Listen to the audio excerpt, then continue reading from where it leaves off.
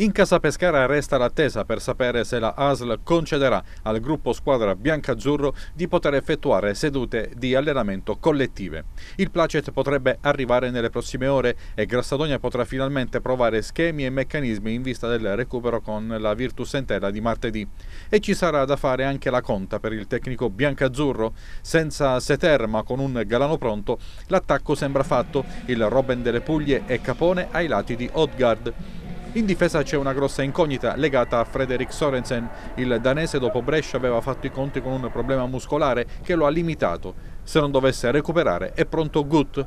Scognamiglio al centro, Bellanova e Masciangelo sulle due corsie laterali sono certi di una maglia. I problemi sono invece a centrocampo, reparto falcidiato dal Covid.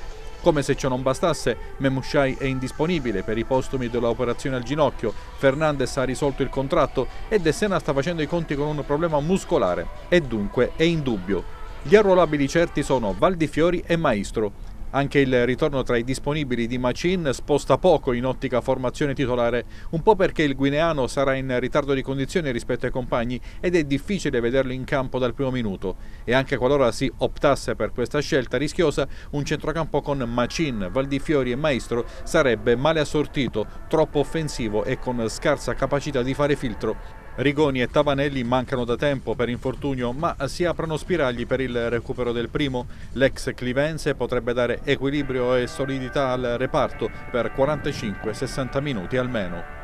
Insomma, non bastasse il focolaio Covid, le grane per Grassadonia non mancano, anche perché la partita va vinta a ogni costo per mantenere intatte le speranze play-out e la partita con Lentella dovrà anche preparare il Delfino alla battaglia del San Vito Marulla contro il Cosenza del primo maggio. Sull'altro fronte la Virtus Entella ripartirà dal neotecnico Gennaro Volpe che non dovrebbe modificare l'assetto principale della squadra, il 4-3-1-2, anche se in questi giorni sono stati provati anche altri moduli. Non è da escludere che perlomeno in panchina vengano portati diversi ragazzi della primavera, allenati fino a poco tempo fa dallo stesso Volpe che a dispetto della classifica la partita non vada affatto sottovalutata lo dicono i precedenti.